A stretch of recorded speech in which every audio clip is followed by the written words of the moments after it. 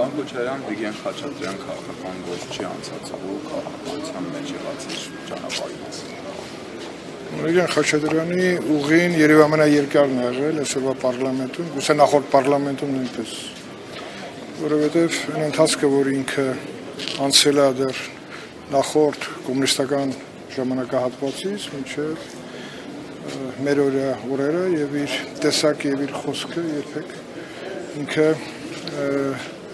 չի կեղծել եւ դրանով է պայմանավորված, որ